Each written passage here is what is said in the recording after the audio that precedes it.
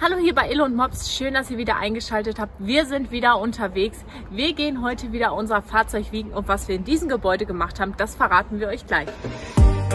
Hab schon immer diesen Traum gehabt, Richtung Sonne, Richtung Süden, wir haben's rausgeschafft. Schick die Zweifel einfach weg, verdammt. Wer nicht wagt, der nicht gewinnt, schau dir das Wetter an. Hab schon immer diesen Traum gehabt, Richtung Süden, Richtung Sonne, wir haben's rausgeschafft. Zweifel einfach weg, verdammt. Wer nicht wagt, der nicht gewinnt, schau dir das Wetter an. Was macht man so am Straßenverkehrsamt? Das könnt ihr jetzt mal raten. Das Fahrzeug ist ja angemeldet, der große ist verkauft, meiner ist eingelagert, aber um meinen geht's. Wir haben ihn jetzt heute abgemeldet. Wir hatten ihn ja eingelagert gehabt und dachten, ja komm, wir lassen ihn noch angemeldet, weil dann können wir ihn ja nochmal nutzen, weil wir sind ja jetzt gerade wieder hier und ähm, ja, wir haben das Geld ja schon am Anfang des Jahres bezahlt, also den Versicherungsbeitrag fürs ganze Jahr, Steuern sind ja auch bezahlt. Aber dann dachten wir uns, ey, das ist Quatsch. Das, ist, das können wir uns auch nicht erlauben. Das ist zu viel Geld. So kriegen wir wieder was zurückerstattet. Und wir brauchen ihn jetzt gerade nicht hier, weil wir müssten ihn ja erstmal wieder abholen, den Wagen. Das heißt, wir müssen zu unserer Einlagerungsmöglichkeit fahren, müssten den dort holen, damit wir dann ein bisschen durch die Gegend fahren können.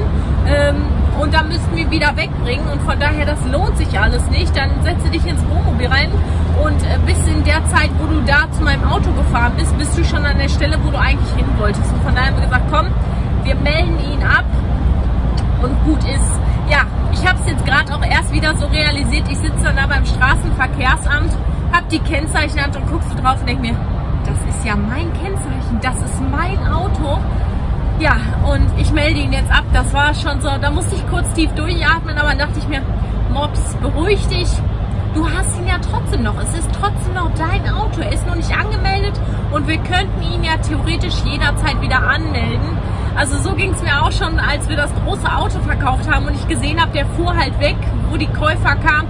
Da dachte ich auch so, oh nein, unser Auto. Und dann dachte ich, Ach, gut, dass das nicht dein Auto ist, von dem du dich gerade trennen musst, weil mein Auto hänge ich wirklich sehr, auch wenn es nur was Materielles ist, aber irgendwie liegt einem doch das Herz daran, weil ich habe halt hart dafür gespart und äh, gemacht und getan und äh, ja, man freut sich dann ja doch und man weiß es vielleicht daher auch sehr zu schätzen, wenn man dafür viel gemacht hat und lange darauf gewartet hat.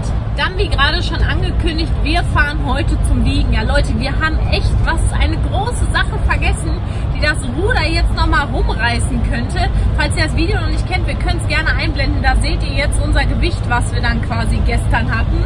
Und äh, ja, das Ding ist, wir waren wirklich auf der Bahn und dann sagt Ilho auf einmal, das Abwasser, das Abwasser. Und wir so, oh, yo, shit. Ja, und dann haben wir gesagt, komm, das müssen wir heute erledigen. Wir werden uns heute darum kümmern und werden dann das Fahrzeug nochmal wiegen. Und wir hoffen, wir sind dann endlich im grünen Bereich. Viele von euch schrieben ja auch, es gibt so Toleranzgrenzen und sowas. Aber es wäre für uns auch schon ganz gut, wenn wir das einfach irgendwie einhalten, weil es kommt vielleicht mal irgendwie was dazu oder so, ne? dass man dann nicht gleich denkt, oh nein, da könnte es irgendwie knapp werden oder so. Deswegen möchten wir das wirklich irgendwie mal wissen, okay, wenn wir so und so das Fahrzeug haben, dann können wir über irgendwelche Wagen fahren, über irgendwelche Grenzen fahren oder sonstiges. Ne?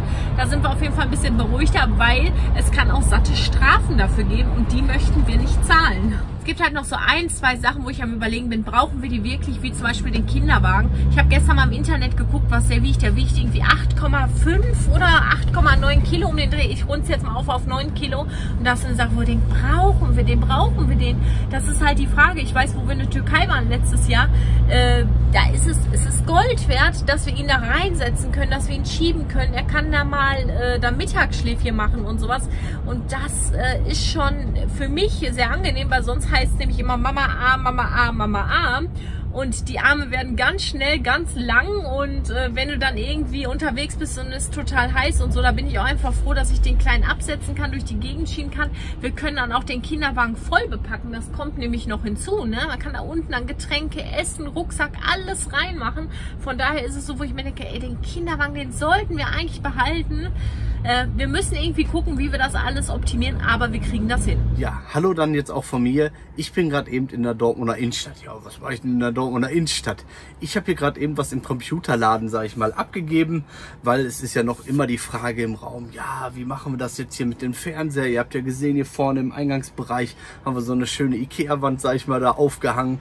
Und dann haben wir überlegt, ja, hinten machen wir eine. Jetzt haben wir die Probleme mit der Heckachslast, sage ich mal so gesehen. Wir wissen, die Halterung, die wiegt zwei Kilo. So ein Fernseher, ich weiß jetzt nicht, was der wiegt, aber wir hatten mal bei Bemoved einen in der Hand. Boah, das ist schon ganz schön schwer.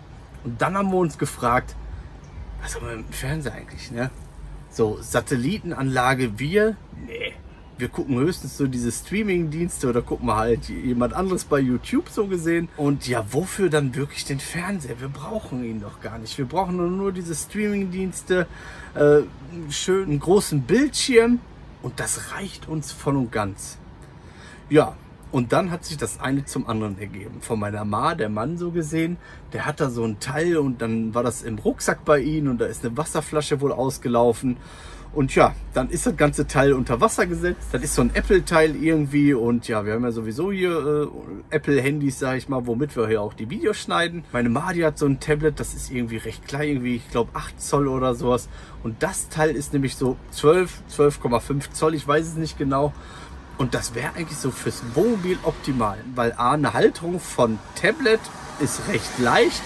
Man kann das Tablet abnehmen, sich einfach auf den Schoß vorne hinlegen oder halt, wir haben da so eine Hülle, sag ich mal, kannst du dir vorne auf den Tisch stellen und kannst dann quasi das auch hier vorne nutzen. Und das Geile ist ja unser Radio hier vorne, das kann man ja per Bluetooth dann auch Ne, ich habe ja eine schöne Soundanlage, sage ich mal, auch einfach verbinden. Das heißt, man könnte hier vorne auf den Sitzen sitzen, sich das Tablet nehmen und Mops und ich könnten abends hier mal einen Film gucken oder wir könnten zu dritt hinten im Bett, äh, könnten wir auch einfach einen Film gucken. Also ist das wahrscheinlich für uns die allerbeste Lösung. Jetzt hoffen wir mal, dass das recht günstig, sage ich mal, bearbeitet wird, dass er es bearbeitet bekommt und dass wir schnell Bescheid bekommen. Ja, des Übrigen habe ich hier noch so zwei Stadiondeckel und es ist gerade eben Viertel vor sechs und bis sechs Uhr hat der Fanshop vom BVB noch auf. Ich gehe jetzt in der nächsten Zeit nicht ins Stadion. Für mich ist Fußball irgendwie seit 2020 nicht mehr ganz so interessant. Aber da ist noch Geld drauf und das Geld, das holen wir uns ab. Ja, wollen wir hier mal rein und gucken, ob wir hier richtig sind. Na, ist doch klar, falscher Stützpunkt hier. Ah, da ist der Kasten.